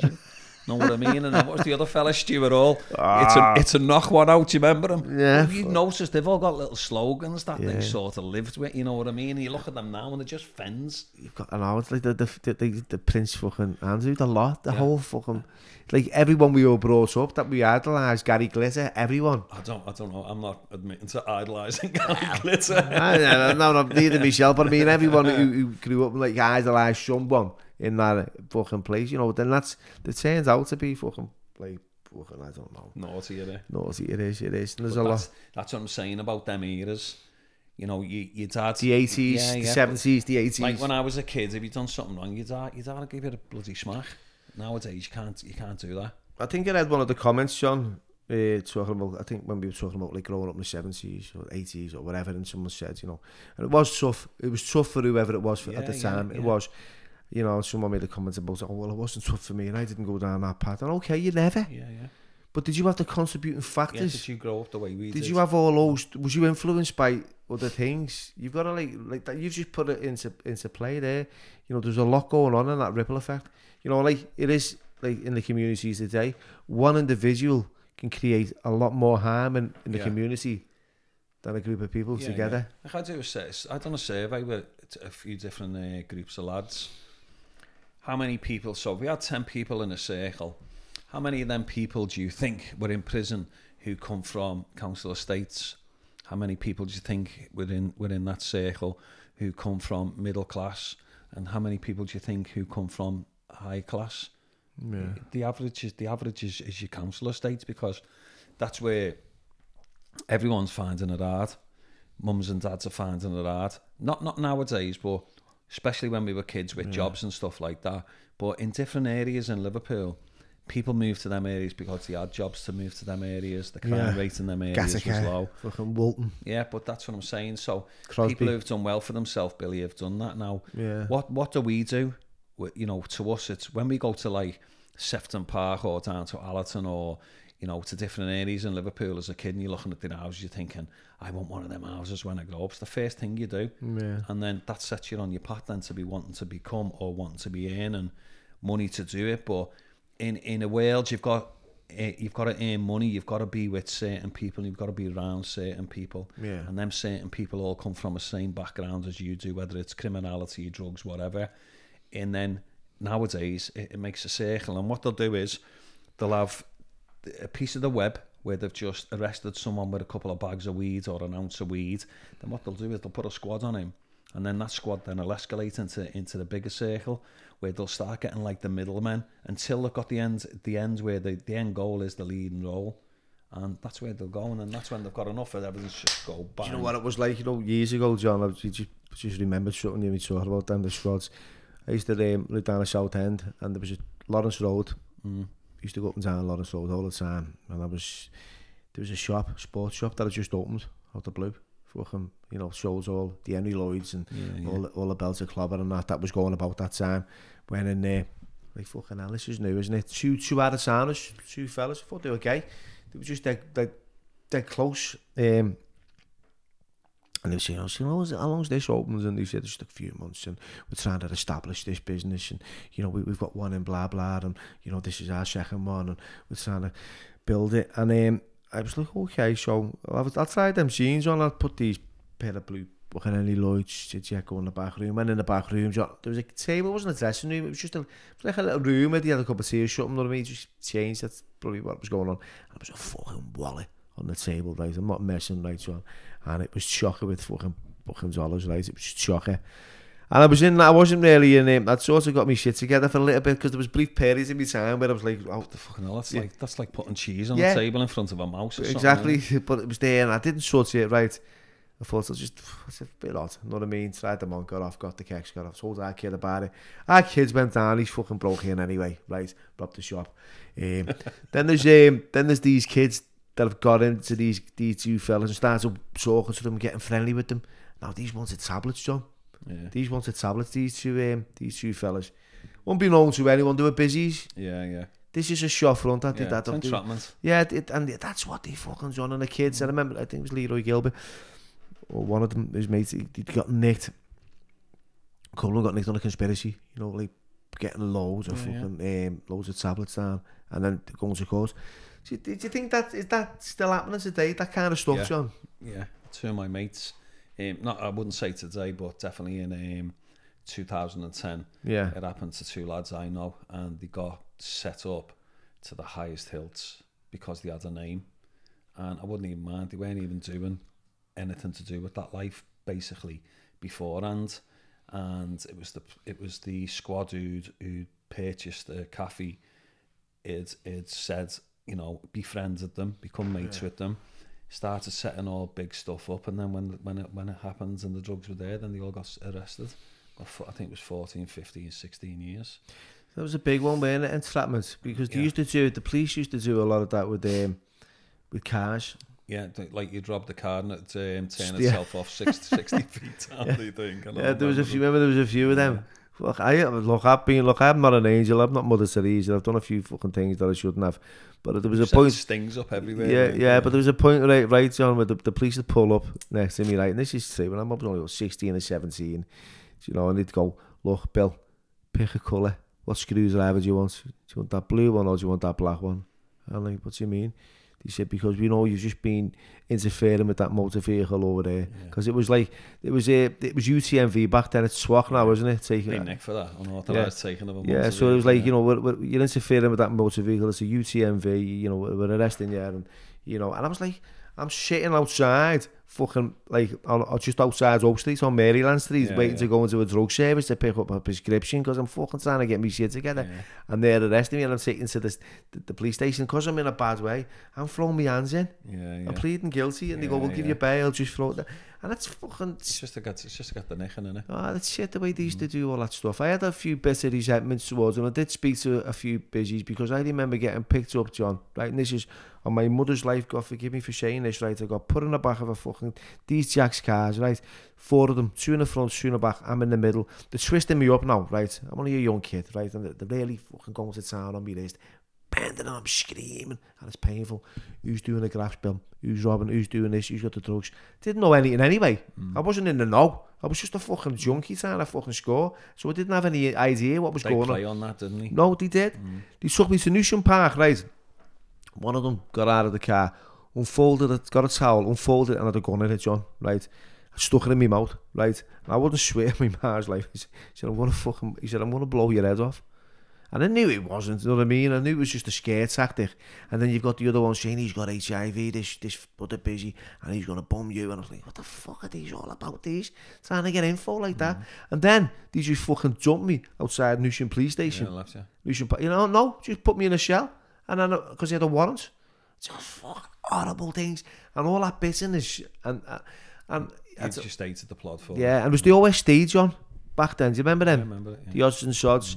Now, it's Matrix now, isn't it? yeah. You know, so I don't know what I, I've had a few chats with Bushies now, and it's it's a different relationship I've got with them, which is it's a positive But the thing is, when when you grow out of that criminal world, they don't they, they don't they're not your enemy because No. you're not doing nothing to hate them to do something to you.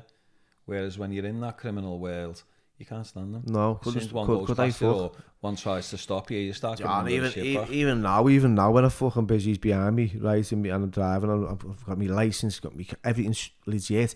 I still feel like it's a fucking shark yeah, on me yeah. tail. I think, what the fuck? All of a sudden, yo. And you still think, have I got anything in the car yeah. when you know quite well you haven't, but it's still in your mind, and you go, shit, shit. It's weird, isn't yeah, it? That yeah. feeling that they've got over you. You know, it's, but I've, it's, like, it's growing up of many, many years of doing that. It's, Yeah. it's not easy to just walk out of it, but I don't care if they're behind me anymore yeah. because I know I've got nothing in the car. I I'm know it's. enough. I, I know we haven't done it, but it, initially Yeah, I've got yeah, that, yeah. and then I, I, then I become aware and go. But like like I said, that relationship with the police because we, we've gone along, we've done a lot of topics here. It's been quite good. It's like that relationship with the police I've got today. They ask me questions, and I've told them that story, Yeah. and they've like, what? But you, you look, police, a lot of police were corruptible in Yeah. them days. Yeah, And nowadays, very rarely. You, a lot of good cop, bad cop, weren't it? Yeah, There's yeah. a lot of that going Like, on. you remember like the Sweeney and all that, didn't you? you Yeah. know what I mean? They were the days where Yeah, Yeah, and people were- batter you. people were corruptible. You know, I remember, I remember um, a thing going years ago. I'm trying to think of it now. There was about, there was about 300 people arrested. You know, for um, paying a copper for information to see if there was anything on them and stuff like that. And I, um, I remember the the guy, um, the copper's gone in putting names in, but he had a camera on him, yeah. and they watched them um, putting all the names, and they arrested them, arrested all the lads. Oh, they had a lot when it was like Curtis. Yeah, yeah. There was the busies and everything were all, you know, they had them in the back pocket and everything. But nowadays, because of the technology and, and all this stuff they have, cyber security stuff in, in computers and stuff, they don't. no. It's very, very difficult to do it. Yeah, we're living in a we're in a changing world, John. Everything's fucking But, you know, some places it's changing for the better, some places it's changing for the worse. It's like it's like everyone with sort of people coming into the country. I, I don't I don't mind people coming into the country. If they want to come into the country and they want to work and they want to pay the taxes, then I'm all for it. But let's not be people who are saying, get them out, shouldn't be here, blah, blah, blah. Look, every I always say in life, everyone deserves a chance. And if you're me personally, if I if I knew someone who was living in a in a country that was affecting them bad, but we could do something about it, then I'll try and be that person to do But it. then there's on the on the on the other side of that coin, John. Right, the prison population is full of a lot of foreign nationals that have oh, committed 100%, yeah. heavy Heavy duty, fines, yeah. heavy duty Billy, fucking look, crimes. Like, if you're gonna let if you're gonna let people come in into this country from other different countries, they don't live the way we do, yeah, and part of their lives is robbing. Part of their lives is is um, killing people. Part of their lives is being involved in drugs. Part of their lives is being criminality.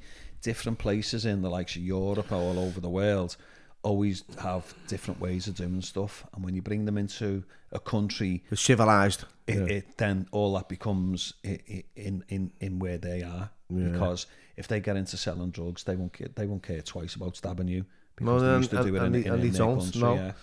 You know, and that's what you, you see a lot of now in prison. A lot of like different kind of like multicultural gangs. yeah I start you know what I, I'll be honest with you I, I don't know about you but I enjoy prison I enjoyed the banter of a daytime the worst part about prison is when your door gets locked of a night and you know you're not going to tuck your kids in or you're not going to go to sleep next to your bed or whatever But of a daytime when you're open, it was look they're putting people like us in a place all together, and you do have some laughs in there, Billy. Don't you know what I mean? Have some proper screams in there, and people coming in every day. You see them coming in, their faces are everywhere. They've got a tooth in it, and you you just looking, you thinking.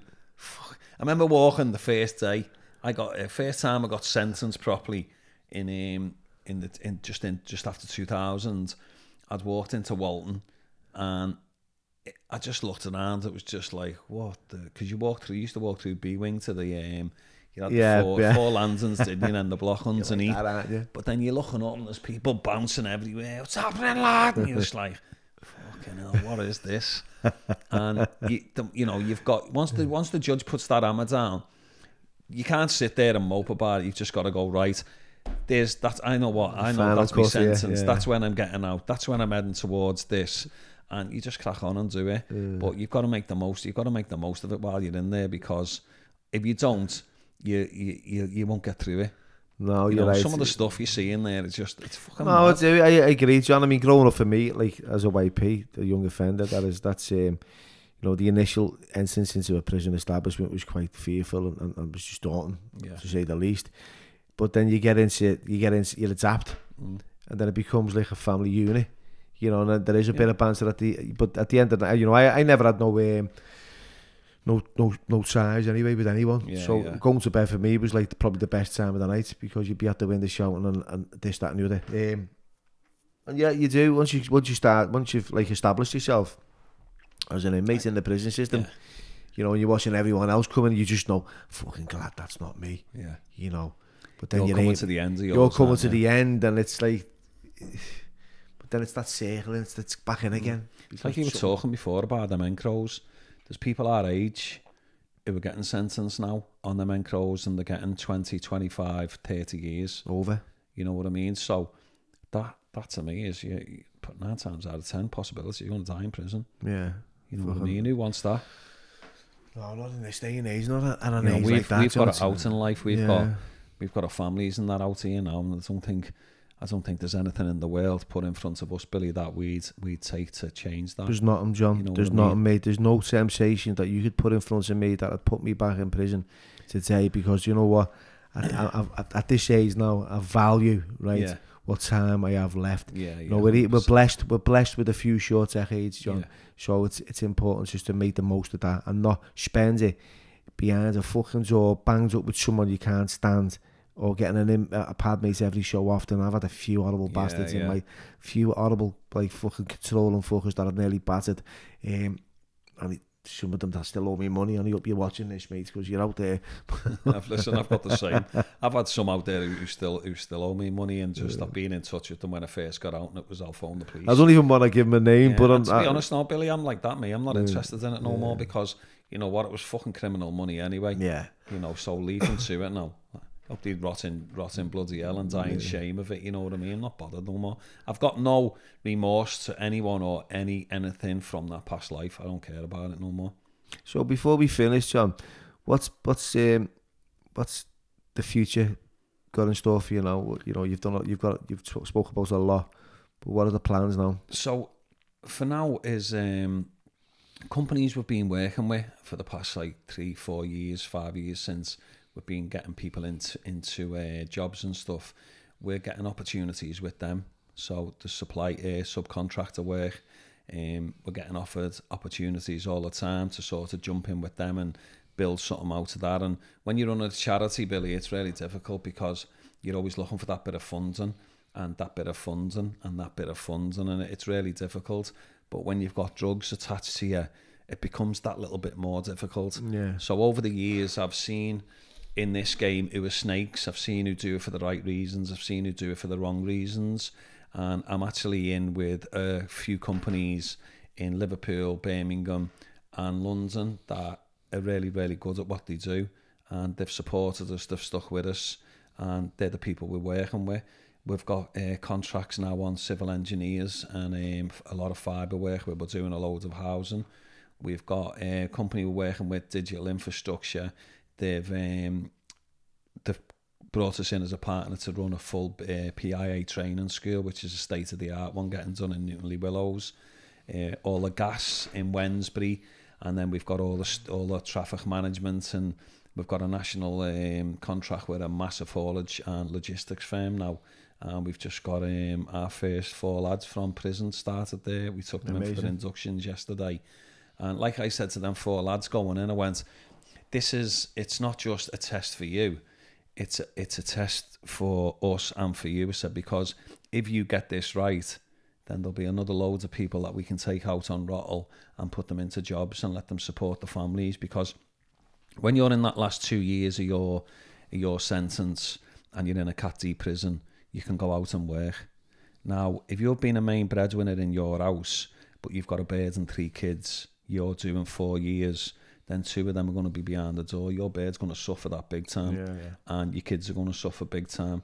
But at least if you've gone to prison with no money and they're suffering and they're finding it really difficult, for the last two years, you've got the opportunity to get out, work, earn some money, and send some money home to your family each week as well, which I think you'd want to do. Yeah, And that's what I said to these. I went, look, use are the faces of our connections and the prison system in this. I said, because everyone in the haulage firm have been amazing. They've been they've supported it. There's been times where senior management have been like standoffish and you know, can we do this? Can we do that? They've worked with us. We've built it with them over the past like five or six months. We've been in prisons with them. We've done everything, and it's it's it's flowing now. And HGV that's flowing as well. So for me, it's it's it's getting on to the people who want to support you, the people who believe in you, the people where you can get funding to help other people get into into work properly and getting the qualifications they need, getting the uh, right practical they need to get on site. So for me, it's about progressing with all these companies and big shout out to like digital infrastructure who've just been Yeah, absolutely immense. Willmott Dixon, they've been fantastic. You know, I could go on forever. I've got our little Michmach Paddy Whack, who's um, he's he's come on the civils with us now, and he, you know what he doesn't know about fibre and training and stuff. He's he's brilliant. And my business partner Marie, um, my son Ben, you've met, you know Yeah, our Ben Ben. Olivia, So they're yeah. running. Uh, ben and Olivia and Ollie and the team are all running the CIC Brilliant. me and Marie are all running all the employer stuff and the subcontractor work, and then we've brought proper good people in who, who know how to run fibre, who know how to uh, do civils, and you know it's it's building and it's it's, You've it's achieved, building you've achieved well. a lot, John. Fucking hats off to you. But I know the thing is though, you, you've got to look at it as I done it when I was in a in a criminal in a criminal way, yeah. but nine times out of ten, Billy, if we go into something straight, we can do it there as Exactly, well. It's about networking and it's about speaking to the right people and getting getting into them where you know what they are and they know what you are, but they respect you for it and you respect them because they believe in you and they want to help you. All them other companies I've worked with over the years who have had to bin off, I've been them off for reasons. Yeah. They don't give a shit about people who have got convictions. All they're interested in is putting people into their jobs to put them into work, and when the work stops, they'll fuck them off just as quick. So it's working with the right companies. Yeah, so for me, it's about growing and growing, and I, I, reckon in the next few years we'll be growing pretty, pretty big. And it's having, the right, it's having the right team around you. And you know what I always say, Billy? I don't get involved in other people's bollocks. I'm not Yeah. interested about Yeah. other people's bitchiness with stuff. I just thought, you know what? You do what you do. I do what I do. and I just yeah. carry on and do it, mate. It's like, It's the best way to be. it, it is. Yeah, it's because it, what you know what, like someone says to me, you know, like years ago, you're having they were having beef with someone that go, fucking hell, you shouldn't be speaking to them. I'm having it with him, and I go, Yeah. but what has he done to me? I said he's been my mate since I've grew up. Yeah. I know, but you're either with us or you're with them. And I think, what the fuck's going on here? So you're, you're, then I, I had that. I've had that. I've had that. Yeah. I've had that recently. And then, like this world, I said to you, this education world, this training world, and all that. Tell you what, mate, if it was 10 years ago, I'd be knocking fuck out loads of people, Billy, honest to God, I would. But I think before, I think before I do now, mate. That's and- it. Think before you do. and then it always works out that you can always go like that. I guarantee it'll go, told you so, didn't I? yeah. And like all these people who think, because like now I've had a few people saying, John, you know, if you give us this, I'll make sure you get that contract. And I'll go, well, you mad. I say, look, mate, I went, there's only one way I'm flying, and that's straight. Yeah. I'm not going to veer left and I'm not going to veer right. I said, because me paying you backhanders or something like that is going to put me in a situation. I went, I'll tell you what, I'll decline your offer, mate, you just crack on. I'm pretty sure I can get on with my team a lot better and a lot straighter than, yeah. than you will anyway. And it always comes back and bites you in the arm, Billy. Yeah, it? it does, it does. You know what I mean? It does.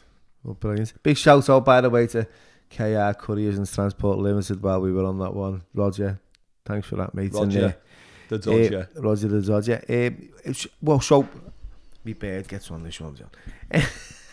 Because I heard it the other day.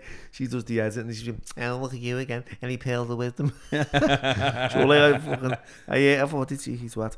But anyway, what would you say, pearls of wisdom, John? Is there anything you'd say to a young John Burton walking through the doors of life? If you had the opportunity, like one sentence, one word, something you could you could offer, what would you say to a young John? Go the this- other way. Brilliant. instead of going the way you're going, go the other way. Because, look, I know a young John Burton and I know an old John Burton, and believe me, you look at the sentences I've had 23 years totality. All right, I've had early guilty pleas often, but it's a long, long time. Do you want to go down that route? No. Go to work, earn your money, because in that time you've been away, you can come out, you can have a lovely house, you can have your cars, you can have your kids, you can have everything you want. It's it's you know you might want a quick fix, but that quick fix could give you ten years. Just think about the next move you make. Brilliant. So I would I'd just say them that way. And with that, John, thank you very much for coming on. mate.